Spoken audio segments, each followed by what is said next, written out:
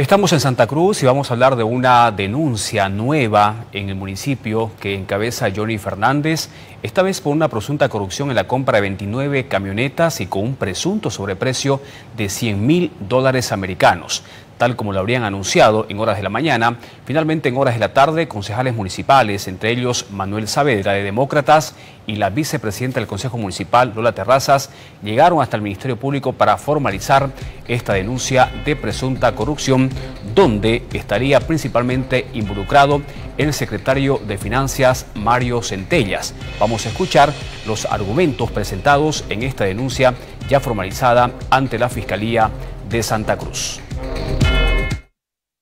Hemos presentado una denuncia para que se inicie una investigación ante un hecho que preocupa a todos de la compra de camionetas. Inicialmente eran 29 camionetas, que estaban muy por encima del precio de mercado. El precio de mercado de estas camionetas, de varias marcas, está entre 245 mil y 255 mil bolivianos. El municipio había comprado 29 a 278 mil bolivianos, más de 20 mil bolivianos más cara, cada camioneta. Estamos hablando de casi 700 mil bolivianos de un supuesto sobreprecio. Pero nos llama la atención, y también eso hemos incluido en esta denuncia, que dos meses después aproximadamente que hacen la compra de estas camionetas a 278 mil bolivianos, 20 mil bolivianos más, más caras ya del precio de mercado, hacen una nueva compra de 10 camionetas en 287 mil bolivianos, más caras todavía que las anteriores. Y en junio, finales de junio, comienzos de julio de este año, hace algunos meses, hacen otra compra de cuatro camionetas a 278 mil. Entonces tiene que hacerse responsable de lo que firmó y en ese contrato también firma el alcalde. En este momento nosotros queremos escuchar al alcalde qué tiene que decir de todo esto, porque él también está, ha puesto la firma en este documento. No es el primer comunicado que sacan, no es el primer caso de indicios de irregularidad en compras y adquisición de bienes. Nosotros queremos que estos malos manejos se acaben en el municipio. Y no puede ser de que se estén inflando precios para beneficiar a sabemos quién y peor aún, insultar la inteligencia de la gente con explicaciones burdas. Eh, hay, varios, hay varios delitos que es el Ministerio Público que tiene que tipificar, pero nosotros denunciamos por uso indebido del cargo, eh, daños económicos a los bienes del Estado.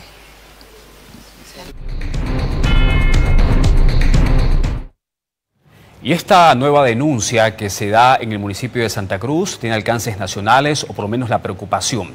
El diputado José Manuel Ormachea de Comunidad Ciudadana le pidió a los cívicos de Santa Cruz que deben preocuparse un poquito más por lo que está pasando dentro del municipio que encabeza Johnny Fernández. Le sugirieron eh, pensar en apoyar un referéndum revocatorio contra el burgomaestre cruceño. Vamos a la organización activa de la ciudadanía cruceña, si me permite, por supuesto, la ciudadanía cruceña a un, a un paseño, a un diputado de La Paz, eh, sugerirles obviamente que eh, dentro de los tiempos que están establecidos puedan llegar a acumular firmas, que estoy absolutamente convencido de que sí puede la ciudadanía cruceña, para llegar a una revocatoria de mandato del eh, señor Johnny Fernández, del Tongo. ¿no es verdad? Nosotros ya lo hemos dicho en su oportunidad, antes de, por ejemplo, en un ejercicio que hubiera sido fútil de eh, un eh, referéndum revocatorio para Luis Arce Catacora, tomando en cuenta que han habido periodos tan, eh, tan cortos dentro de lo que ha sido la presidencia de Bolivia, ¿no? con el, año de Janine Áñez, el no haber terminado el mandato de Evo Morales por culpa de él, y eh, un reciente nuevo presidente no hubiera sido fructífero en ese sentido, pero sí sería fructífero para la ciudadanía de Santa Cruz que puedan llegar a tener justamente una revocatoria de mandato a probablemente el peor alcalde que ha tenido Santa Cruz en mucho tiempo, en muchas décadas, no es verdad, como es el eh, Johnny El Tongo Fernández, no es verdad que es simplemente equiparable. 100 mil dólares es el presunto sobreprecio de esta nueva denuncia contra la gestión de Johnny Fernández en la compra de 29 camionetas. Sobre este tema vamos en vivo y en directo hasta la alcaldía municipal en el edificio central. Está haciendo uso de la palabra el principal involucrado dentro de esta denuncia, el secretario de Finanzas Mario Centellas. Vamos a escuchar lo que responde a esta presunta denuncia de corrupción que es la dirección administrativa, que está en la quinta municipal. Ellos realizan todo un proceso de contrataciones. O sea, allá ellos ya arman el DBC, suben, evalúan, etc. Dentro de todo este proceso administrativo está una comisión de calificación. La, comisión de calificación es una unidad administrativa y también una unidad técnica conformada por los administrativos y los solicitantes establecido en el artículo 38 del decreto 181. Fíjense, hasta ese momento ya los proponentes presentan su propuesta y su propuesta no solo es física, sino también es virtual. Estamos trabajando virtualmente, o sea, cualquiera puede entrar al SICOES y bajarse de precio si quisiera participar. Lastimosamente, pese a que hemos hecho cuatro invitaciones, y aquí están nuestras invitaciones, el 15 de febrero de 2023, se ha invitado a la Crown, se ha invitado a SASI, se ha invitado a, Incruz, pero no han participado. Son cuatro empresas a las que hemos invitado, pero solo se presentó su propuesta a la empresa Crown. Obviamente está en el SICOES, todos podían haber participado. Nosotros no definimos quién se presente y quién no. O sea que es, es, falso que se diga, ah, no, una sola empresa participó. Bueno, pues, ¿por qué no participaron los demás? Pregunten, ¿por qué no entra SASI? ¿Por qué no entra Incruz? ¿O por qué no entran otras entidades automotoras establecidas legalmente en Bolivia? Bueno, ellos presentan su propuesta y hay una comisión de calificación. Esa comisión son otras personas las que evalúan, miran y emiten un informe de calificación establecido en el artículo 38. Ese informe de calificación llega recién a la Secretaría de Administración y Finanzas, donde eh, en base al informe se hace la adjudicación. Pero el resultado de la adjudicación no solo lo ve Mario Centellas, hay una dirección legal, hay una dirección financiera que miran y emiten informes técnicos para decirme si señor Centellas puede adjudicar. Recién participo yo. Todo el proceso son otras personas. Entonces, cuando yo adjudico, entonces va ese contrato a la dirección jurídica, la dirección jurídica también, de acuerdo a la norma, tiene un proceso de revisión y emiten el contrato donde va al alcalde y ese contrato firmado por él y por el secretario de Administración y Finanzas y la empresa. Pero previo a la firma de contrato se exige toda la documentación respaldatoria de, las camionetas, de su informe legal, si está registrado legalmente, todo eso se emite un informe que está en la dirección jurídica. O sea, no es Mario Centellas el, el, hombre orquesta que ha hecho todo. Mario Centellas solamente firma la adjudicación en base a la recomendación de toda una serie de eh, documentos y de personal que ha participado, incluso en base al informe técnico y legal de una dirección jurídica. ¿Qué pasó? ¿Qué creemos que pasó? Obviamente hay una, un error de información, queremos entender que es un error de, información, porque se está comparando el 15 de febrero con, eh, con hace 5 o 6 días de una cotización. Son momentos distintos y no es que Mario Centella le esté echando la culpa a, la, a, a Fácil o le esté echando la culpa a alguien. Lo dice la Cámara Aquí tienen. Lo dice la Cámara de la, de la eh, Automotriz Boliviana, firmado por su gerente, Saavedra, están todos los gerentes que firman de la Cámara, indicando justamente los problemas que ha tenido el sector automotriz, incluso por la feria que no ha tenido resultados y que obligadamente están, eh, según ellos, obligados están a bajar los precios para liquidar sus productos, porque tiene que venir otro stock para poder vender 2024. Eso no lo hago yo. No lo hago yo. Eso lo hace la Cámara y lo hace la empresa. Tienen que ustedes preguntarle a la empresa Crown por qué, bajó por qué ahora ha, hecho una cotización distinta a la, del, a la del 15 de febrero. son cosas que no, manejo, no maneja el municipio, maneja la Crown y maneja la Cámara Automotor. Los invito a todos ustedes a que se acerquen a la, a la empresa Crown para que les dé esa información. Por otro lado, vean ustedes y también pueden ver en la, en la pantalla, tal vez pueden darse, vean la pantalla, lo van a ver. Tengo 10 facturas por lo menos de la empresa Crown de esa misma fecha con los mismos precios facturas oficiales. Estamos en vivo y en directo con la conferencia de prensa del secretario de Finanzas del municipio de Santa Cruz respondiendo a esta denuncia de presunto sobreprecio en la compra de 29 camionetas eh, por parte del municipio de Santa Cruz. Según lo que ya va exponiendo en esta conferencia que aún continúa, eh, Centellas habla de que se cumplieron todos los procedimientos legales para adjudicar y comprar estas camionetas. Él habla de un error en la información de cotización que vendría de la misma empresa privada eh, a la cual se le compró estas camionetas. Asegura que será la misma empresa la que tendrá que responder con respecto a esta baja cotización que se dio, inclusive dice en el transcurso de la feria FECPO Cruz.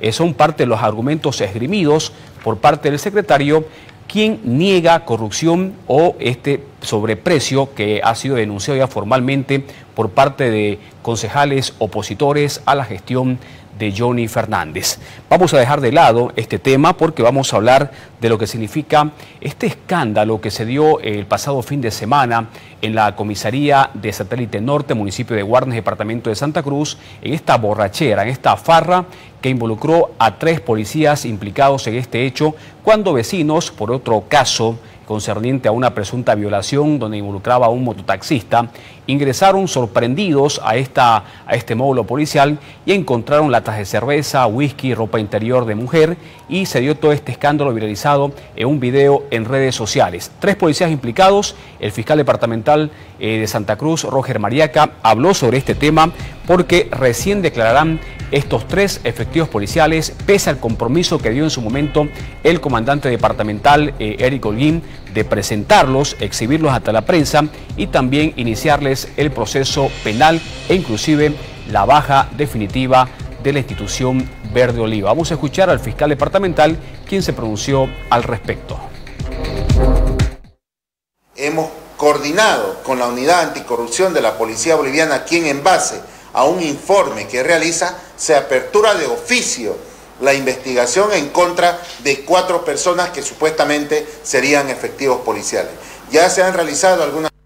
Hemos coordinado con la unidad anticorrupción de la Policía Boliviana, quien en base a un informe que realiza se apertura de oficio la investigación en contra de cuatro personas que supuestamente serían efectivos policiales. Ya se han realizado algunas diligencias con la fiscal asignada al caso, la doctora Yolanda Aguilera, quien lleva adelante esta investigación, conjuntamente con el policía investigador de la unidad anticorrupción, y tengo entendido de que estas personas van a ser citadas o en el transcurso del día ya han sido citadas para el día lunes de la próxima semana para que puedan prestar su declaración ante la fiscal asignada al caso tengan la seguridad que nosotros como Ministerio Público vamos a aplicar lo que establece el procedimiento. Es por uso indebido de bienes del Estado, ¿no? Estamos en un lugar que es público, que es de beneficio para la sociedad y se ha hecho por los antecedentes, por los videos, por lo que ha manifestado el señor comandante departamental también de la Policía Boliviana y quien de manera responsable se ha eh, dado la labor de estar en el lugar del hecho denunciado, en el cual donde no podemos nosotros tampoco como Ministerio Público permitir que estos hechos ocurran. En ese entendido es que se ha citado a estas personas para qué? Para que presten su declaración el día lunes de la próxima semana.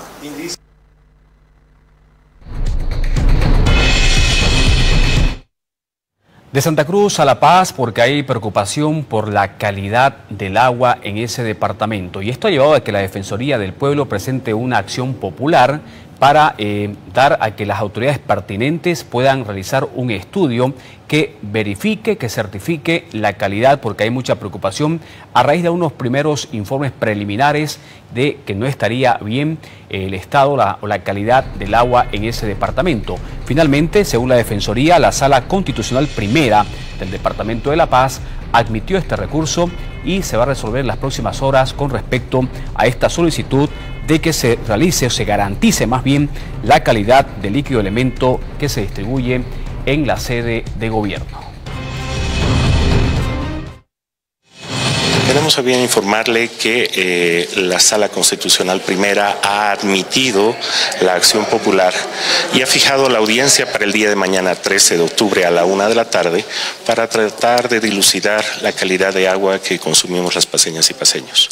Esto en función a la existencia de informes contrapuestos, por una parte evacuados en su momento por el Gobierno Autónomo Municipal de La Paz y por otra parte por la Universidad Mayor de San Andrés, en cuanto a la existencia de microorganismos en las distintas fuentes de agua y en los sistemas de distribución que permiten que este el líquido elemento llegue a cada uno de los hogares de paseñas y paseños como tal. En esa medida, la Defensoría del Pueblo lo que ha solicitado es que se practique estos nuevos exámenes laboratoriales con el fin de brindar la certidumbre a todas las familias, a todos los estantes y habitantes de nuestra ciudad en cuanto a la calidad de agua que nosotros consumimos. De acuerdo a la determinación de los vocales de la Sala Constitucional, estas instituciones deberían cubrir los gastos y eh, sufragarlos para que estos nuevos exámenes se realicen por nuevos laboratorios nacionales o internacionales de acuerdo a las disposiciones que adopte cada uno de estos vocales.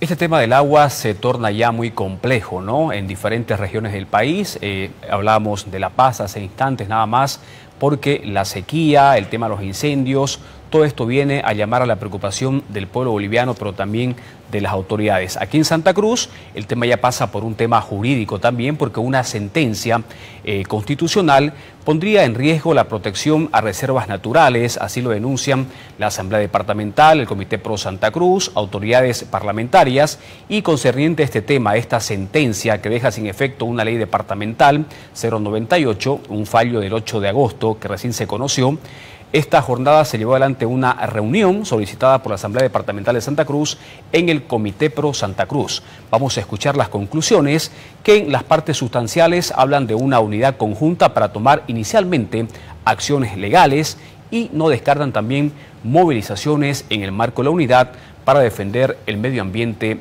en Santa Cruz.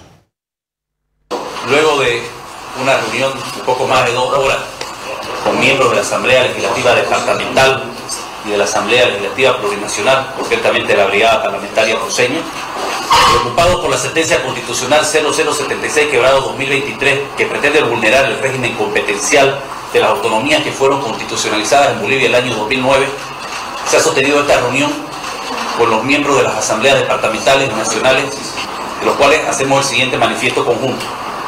La mencionada sentencia tiene un evidente carácter político que desnaturaliza y pretende cercenar todo el régimen competencial de las autonomías. En ese sentido, advertimos al pueblo boliviano que esta acción del gobierno centralista es un atentado de las autonomías de toda Bolivia. Segundo, se ratifica el estado de emergencia recientemente declarado en reunión de directorio del Comité Pro Santa Cruz. Tercero, el Comité Pro Santa Cruz respalda las acciones de las instituciones departamentales en el ejercicio de las competencias autonómicas el gobierno autónomo departamental, a través de sus representantes, nos ha manifestado que, contrario a la intención política de la sentencia constitucional, seguirá, seguirá legislando y ejerciendo sus competencias autonómicas en materia de tierra, territorio y medio ambiente para cuidar el agua y la vida de todos los cruceños. Cuarto, la ilegítima sentencia constitucional pretende crear legislación nacional para arrebatarnos nuestras competencias autonómicas. En ese sentido, nuestros parlamentarios nacionales no entregarán nuestras autonomías al gobierno centralista Asimismo, se encuentra preparando un juicio de responsabilidades a los magistrados responsables de tan ilegítima sentencia. Como Comité Pro Santa Cruz, contra nuestros representantes departamentales y nacionales, reafirmamos el compromiso inclaudicable de defender nuestro departamento, medio ambiente y recursos naturales.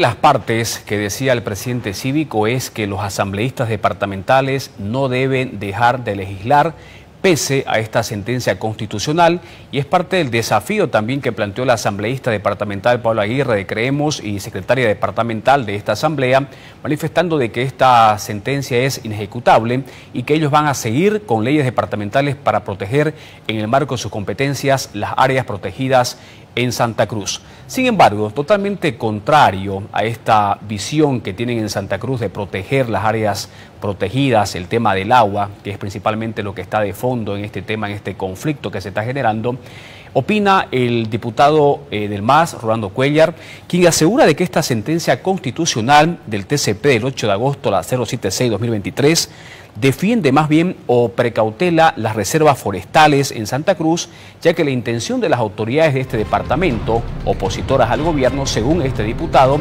es de una mafia organizada que busca beneficiarse económicamente de urbanizaciones, propiedades privadas, subiendo el precio económico en el avalúo que tendrían estas propiedades. Vamos a escuchar estos argumentos que dio a conocer el diputado Cuellar en conferencia de prensa cuestionando seriamente y rechazando la emergencia que habría en Santa Cruz con respecto al rechazo de esta sentencia constitucional.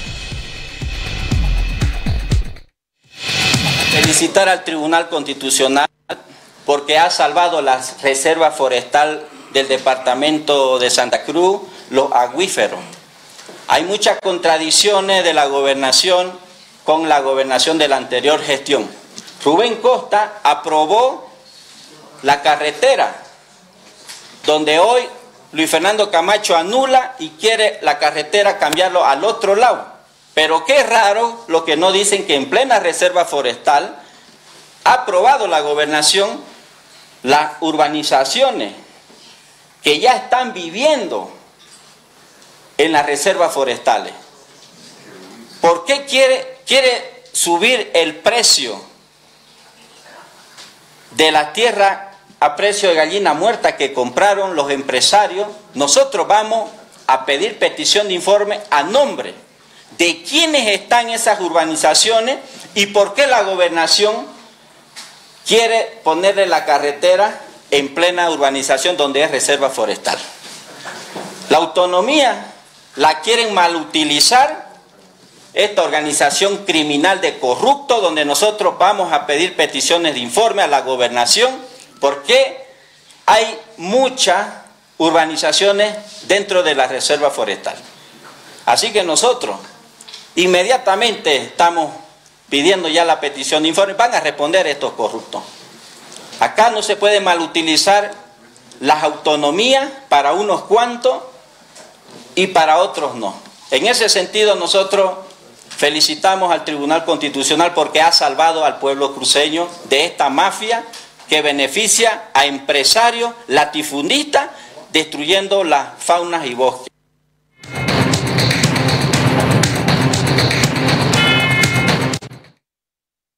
Mientras tanto, el senador opositor de Comunidad Ciudadana, Rodrigo Paz, dijo totalmente lo contrario. ¿no? Esta sentencia constitucional es terrible y debe ser parte de una causa nacional que no solamente debe atañe a los cruceños, sino también a todos a nivel nacional, porque siente una jurisprudencia negativa de vulneración a las áreas protegidas y efectos contrarios al medio ambiente en todo el país. Eso es terrible.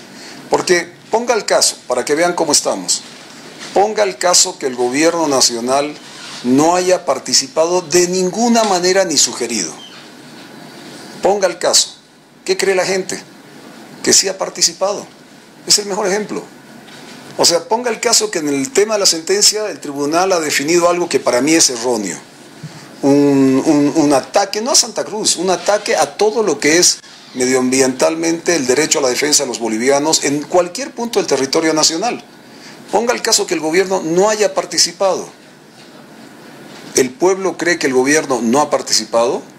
Es justo esa la prueba de esa centralidad que tiene el poder político que genera injerencia en las instituciones de arriba hacia abajo, que el país debería movilizarse ante esta decisión porque esto no es una decisión pro, eh, eh, perdón, contra un, proyecto político o personas políticas que estamos hablando, sino a favor del medio ambiente y a favor del derecho que tiene Santa Cruz, pero que este derecho, si hoy día el TCP atropella a Santa Cruz, que es la más grande del territorio, supuestamente la de mayor presencia nacional, ¿qué pasará con Tarija el día de mañana? ¿O qué pasará con Pando, con Beni?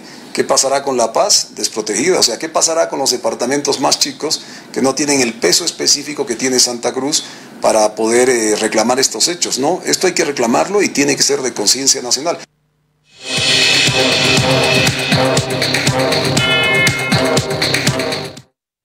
Una segunda pausa en este espacio informativo y cuando retornemos vamos a estar hablando de otro tema que también es parte de la coyuntura en el país, que es esta división, pugna interna dentro del partido de gobierno y que ahora se sigue extendiendo en las áreas jurídicas porque Evo Morales esta vez no dejó de lado formalizar una denuncia a través de sus hombres cercanos como es Wilfredo Chávez.